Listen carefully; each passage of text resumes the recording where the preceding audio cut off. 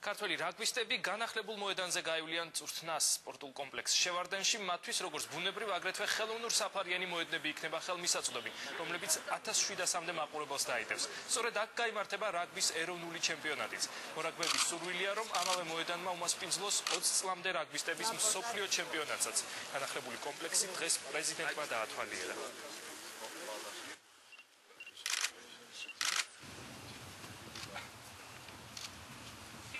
ცალკე ფანკლუბი.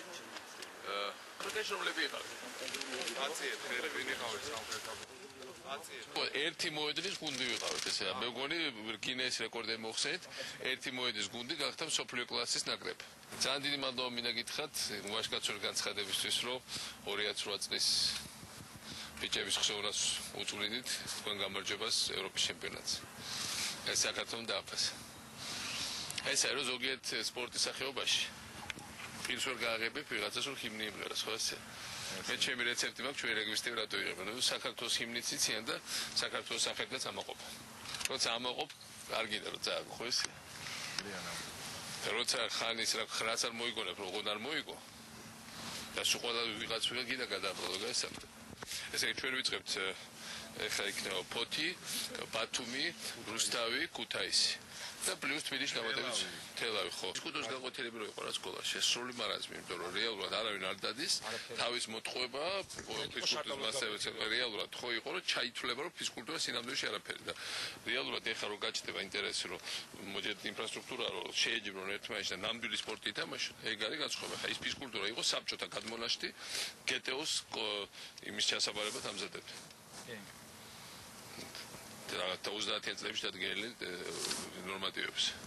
ჩემ პერიოდში ეგრე იყო შაკალოს გაკვეთილი იყო არ ცდილობდა. შენს განსაკუთრებით ეგ შემშო. აბა კიდე რა ისა გაქვს მოთხოვნები როგორ გავაკეთოთ უკეთესობის კითხვა.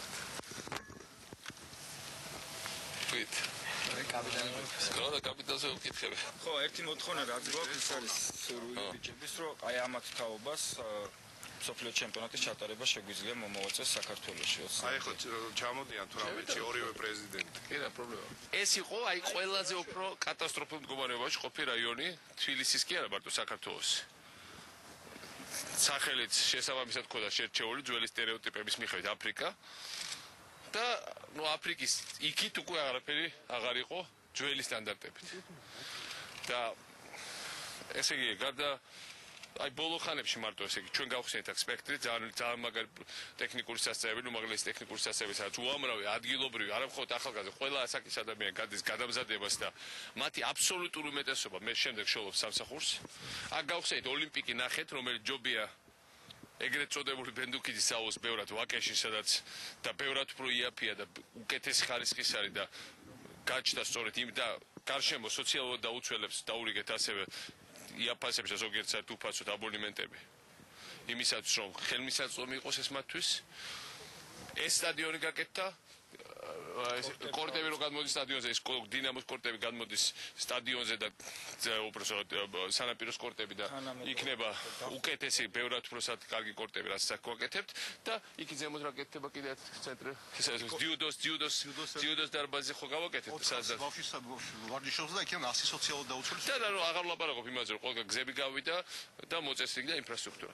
ერთ სიტყვით ყველაზე ცუდად და საცხოვრებელი რაიონი თბილისის ყველაზე უფრო სოციალურად დაუცველი ხალხი და ხალხს დღესაც ძალიან უჭირს აქ დღეს გახდა საცხოვრებლად ყველაზე კომფორტული ერთ-ერთი ყველაზე კომფორტული საქართველოში. და ეს არის სხვათა შორის მართლა ძალიან მნიშვნელოვანი ჩემთვის პირადად არის აი მართლა გულის გული მინათდება ამას რო უყურებ